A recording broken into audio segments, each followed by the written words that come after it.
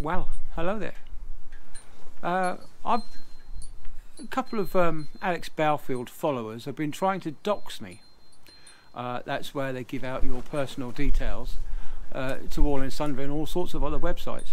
Well, uh, listen, uh, the guy that was doing this was mainly a, guy by the name of Zulu Warrior. Uh, don't confuse this guy with anybody else with a similar sounding name, but it was Zulu Warrior. He he decided he was going to go over to uh, somebody else's website. It's too small to mention, um, but this is a guy that's uh, been telling people to send money to Alex Belfield. Anyway, he was chatting on on on that particular uh, YouTube channel and giving out my name quite freely. So to uh, to screw him up, uh, my name is Andrew Dodds, and I live in Hull, and I'm a merchant seafarer. Now, if you think you're going to come and find me, there are over four people in the telephone directory with the same name as me, so the chances of finding me in the telephone book is pretty remote, uh, considering that I'm ex-directory. Uh, so, yeah, I, it's not really worth it. Um, so I don't hide my name.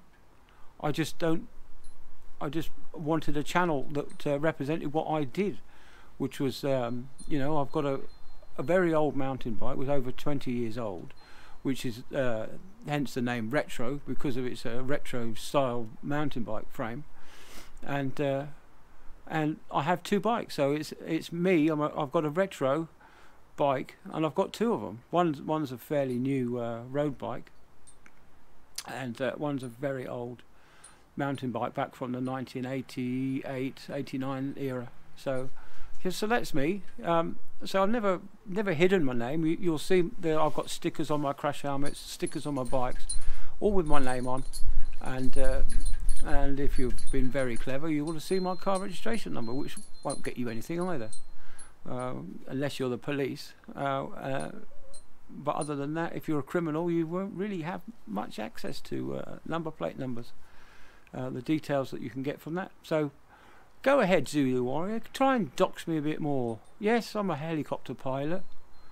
Um, radio controlled helicopter pilot. I well, used to be back in the in the day. Uh, I've also got a drone somewhere, uh, which I've I haven't got out this time home yet, and uh, so that's about it really. So I'm a merchant seafarer uh, that likes to take photography, likes to fly radio controlled models, and I like to cycle. And uh, I've got quite a few other little hobbies. I've got a dog that I take walkies, and uh, and I like to build uh, little tiny models. These are like Airfix model kits. I like to build those. Um, so any any other information that you want to put out there, uh, Zulu Warrior, go ahead, do your worst, mate.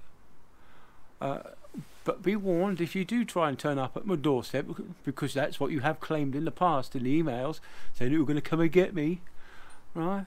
Yes, I've got CCTV cameras all around the place.